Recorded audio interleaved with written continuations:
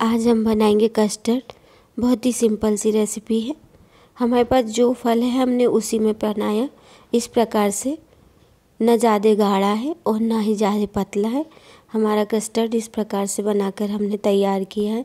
Hi friend Radhe Radhe. मेरे kitchen में आप सभी का स्वागत है। आज हम बनाएँगे कस्टर्ड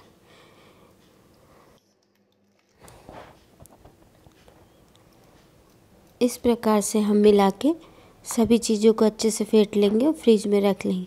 इसको बनाने के लिए मैंने आधे लीटर के लगभग बिना उबला हुआ दूध ले लिया है। अब इसे एक पैन में हम गरम होने के लिए रख देंगे।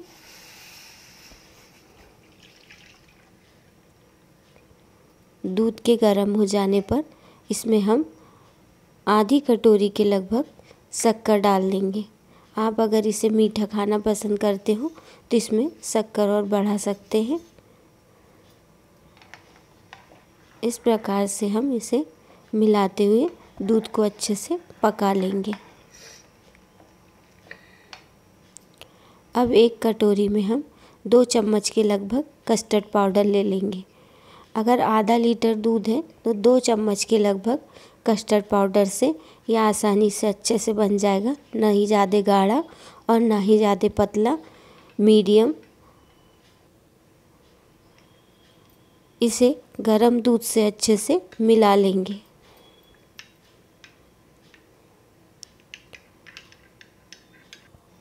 हमारे दूध में उबाल आ चुका है। अब इसमें हम कस्टर्ड पाउडर जो घोला था उसे मिला लेंगे और चलाते हुए ऐसे इसे अच्छे से पका लेंगे। अभी तो ये पतला ही दिखेगा। जब इसे हम फ्रिज में रखेंगे तो ये गाढ़ा हो जाएगा। अब इसे एक तरफ़ ठंडा होने के लिए रख देंगे। अब मेरे पास में सेब है, मैं इसे छील लूँगी और छील के इसके ना ज़्यादा बारीक, ना ही ज़्यादा मोटे, मीडियम आकार के इसके पीस कर लेंगे। इस प्रकार से। अंगूर भी मैंने बीच में से कट कर लिए हैं।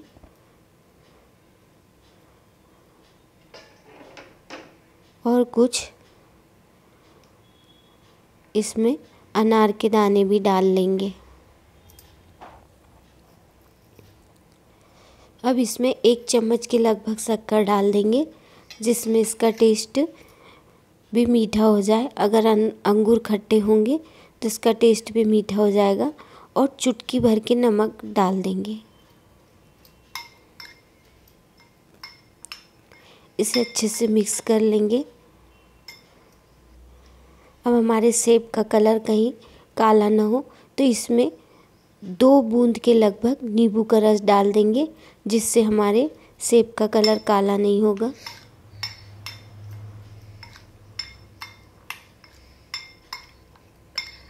और इसे अच्छे से मिक्स करके एक तरफ़ से ढक देंगे।